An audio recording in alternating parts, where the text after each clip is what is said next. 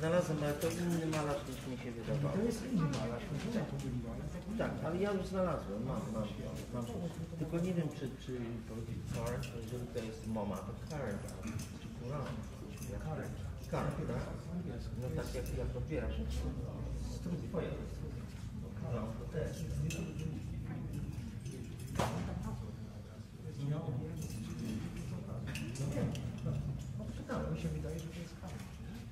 Stop, stop. Yeah, no, no.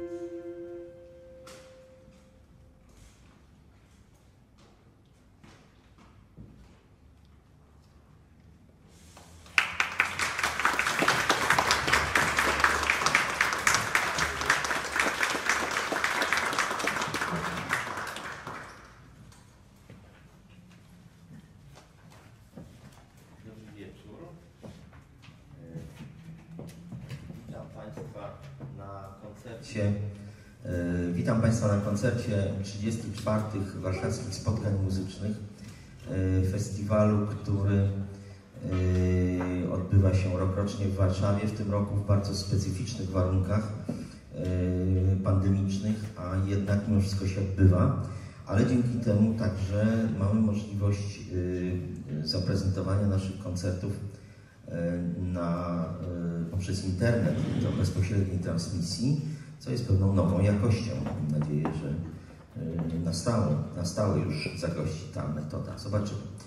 E, Dzisiejszy, czy tegoroczny festiwal jest współfinansowany przez Ministerstwo Dziedzictwa Narodowego e, i dużego wsparcia nam udzieliło Stowarzyszenie Autorów ZAIX, za co serdecznie dziękuję.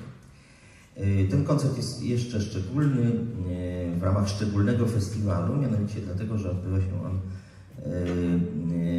przy współpracy y, y, y, Związku Kompozytorów Polskich oraz Brandenburskiego Towarzystwa Kompozytorskiego Muzycznego, które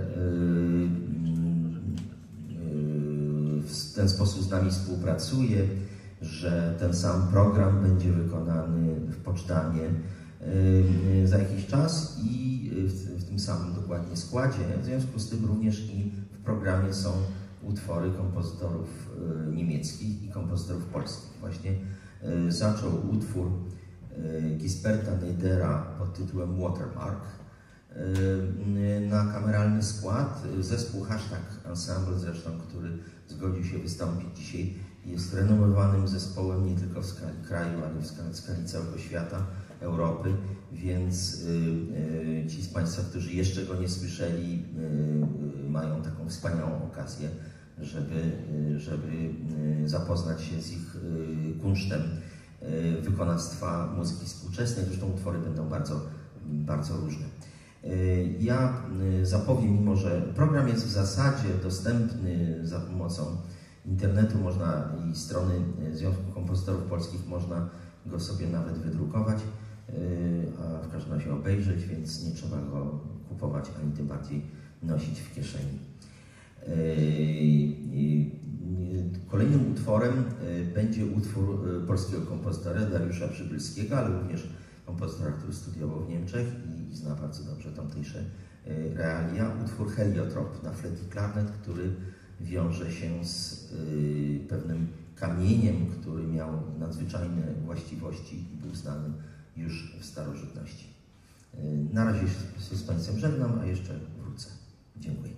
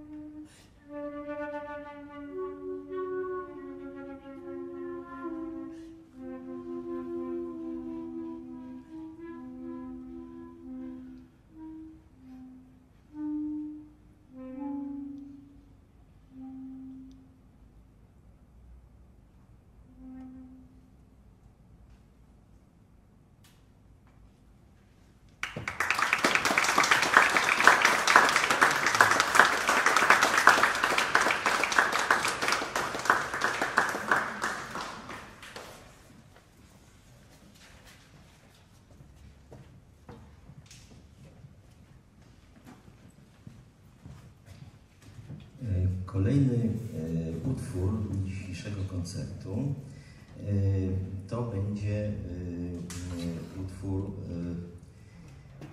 Tomasa Gerwina pod tytułem Bipol 3. E, Jest to jeden utwór z cyklu utworów Bipol o dość skomplikowanej strukturze, jednak żeby Państwa specjalnie nie, nie wciągać w skomplikowaną materię tego utworu, powiem tylko, że ostatecznie kompozytor mówi, że, e, że to ucho ma decydować o najważniejszych właściwościach tego, co Państwo za chwilę usłyszą.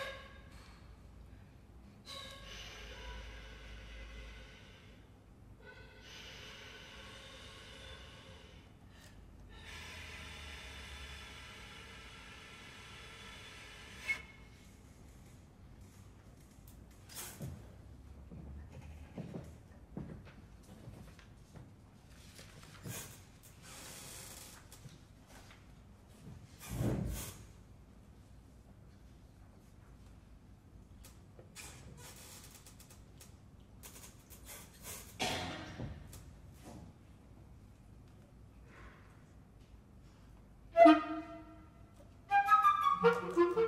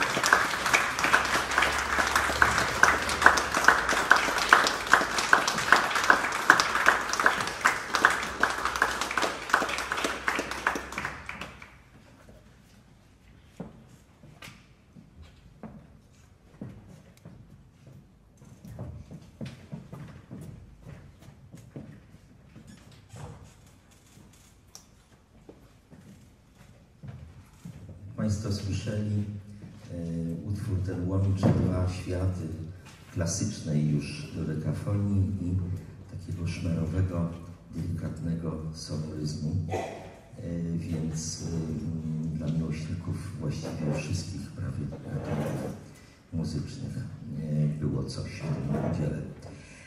Kolejny utwór m, Jarosława Siwińskiego, kompozytora, pianisty, organizatora życia muzycznego w Polsce, w tym e, dyrektora festiwalu Warszawskie Spotkania Muzyczne.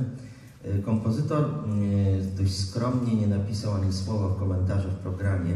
Utwór nosi tytuł Aria.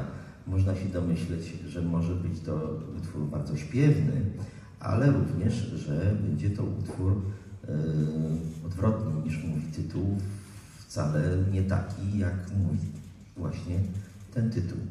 E, Zaraz się o tym przekonamy. E, Natomiast chciałem zwrócić jeszcze uwagę na, e, na taką rzecz, mianowicie zespół Hashtag, który jest dość dużym zespołem, ale o zmiennym składzie, tym razem występuje w składzie nieco mniejszym, znowu prawdopodobnie względy higieny i, i, i tego, co mamy w tej chwili na świecie, ale oczywiście e, należałoby wymienić ten skład dzisiaj występujący. Otóż jest to Ania Karpowicz flet, Adam Eliasiński klarnet, Marta Piórkowska skrzypce, Dominik Płociński wiolonczela oraz Wojciech Błażejczyk elektronika. Yy, Do elektroniki jeszcze dojdziemy. Na razie mamy utwory tylko na ten skład poza elektroniką i w tej chwili u Aria yy, utwór na flet, klarnet, skrzypce i wiolonczele, czyli taki prawie maksymalny tym razem skład.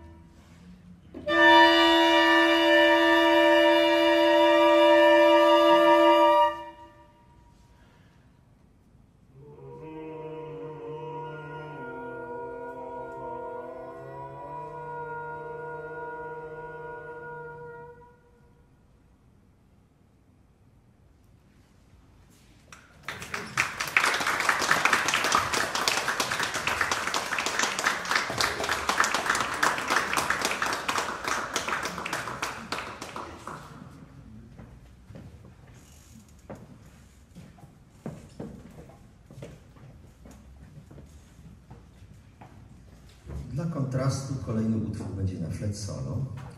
E, Kompozycja e, Lotara Voigtländera. E, Utwór pod tytułem Endgrenzer Verraten.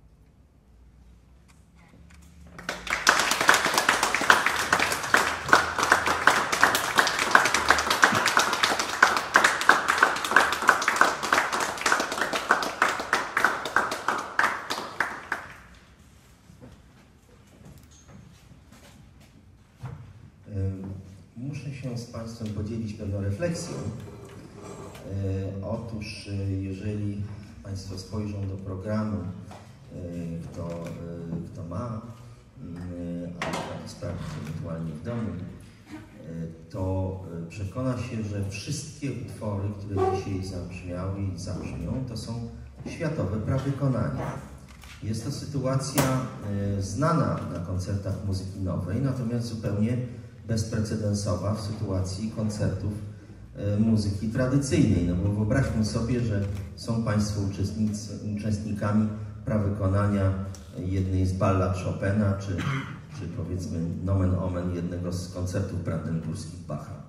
E, Niemożliwe. E, Prawykonania odbyły się już wiele set, e, dziesiątek, set lat temu, a tutaj mają Państwo okazję się zetknąć z utworami, którymi się nikt do tej pory jeszcze, poza wykonawcami na próbach, nie stykał. Jest to sytuacja zupełnie niezwykła i y, warto to mieć y, na uwadze.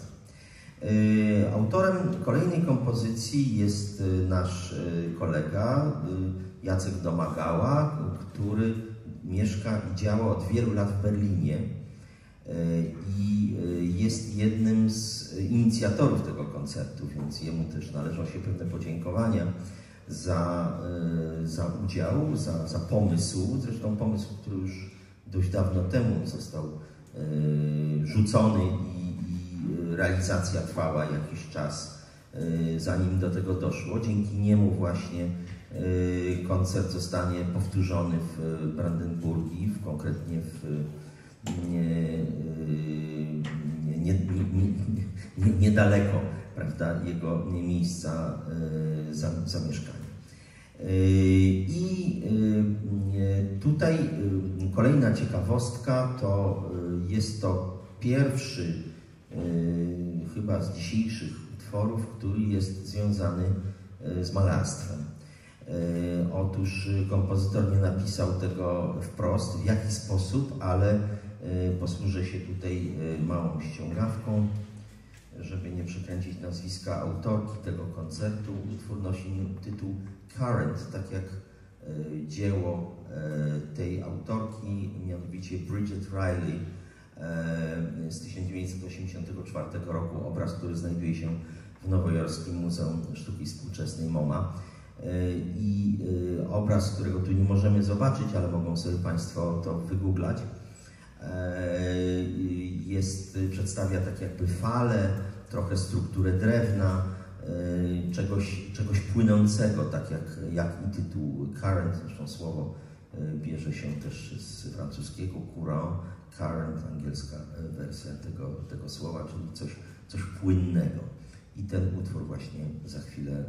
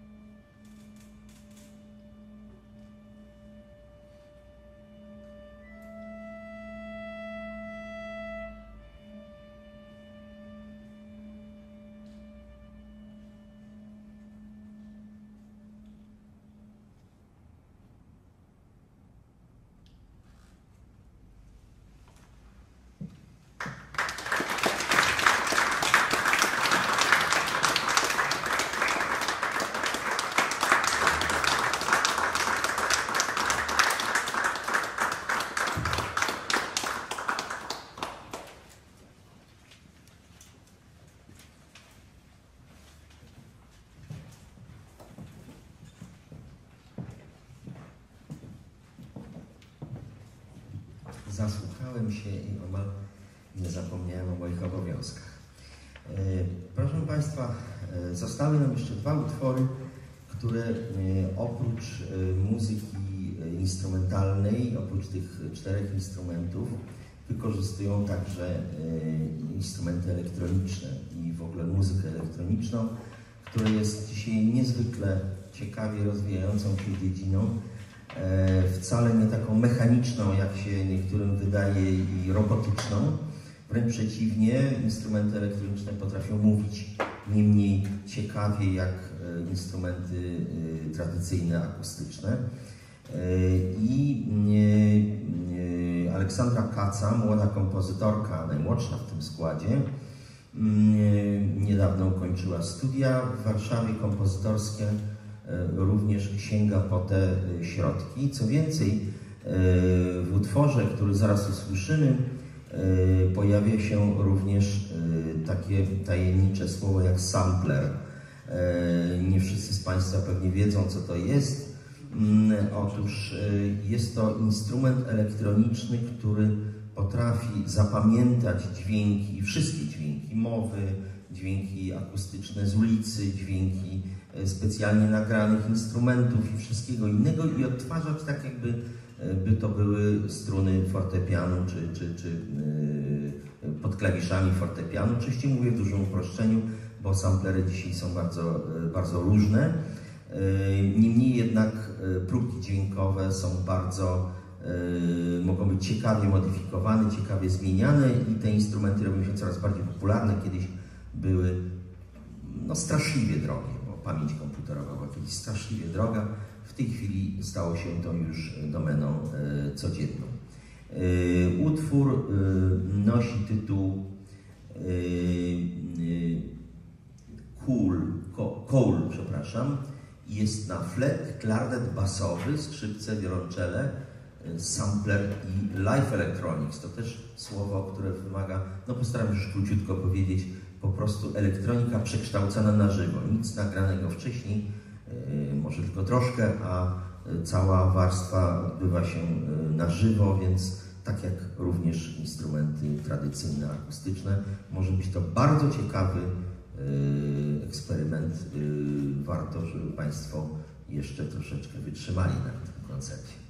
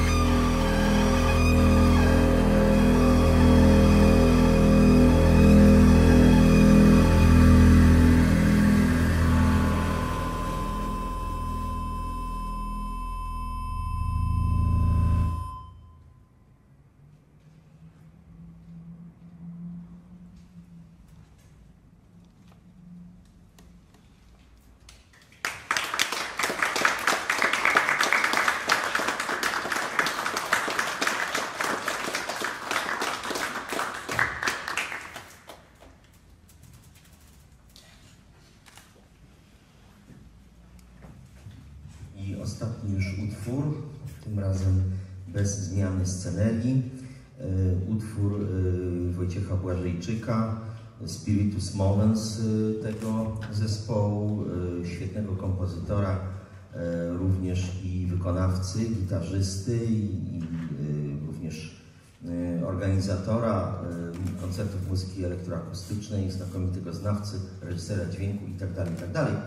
E, Utwór, e, którego tytuł mnie zafrapował, bo brzmi on Eter, E, a więc niech Państwo pamiętają, że eter to substancja nie tylko eteryczna, ale i lekko narkotyczna.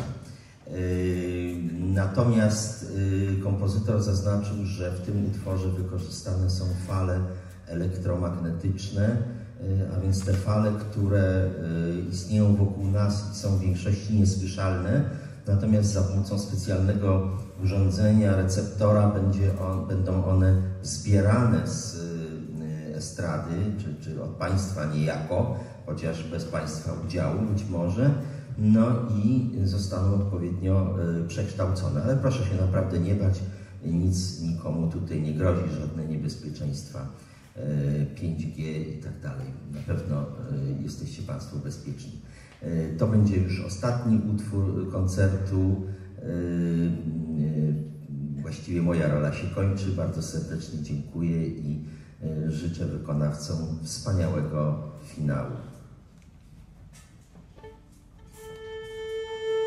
Thank you.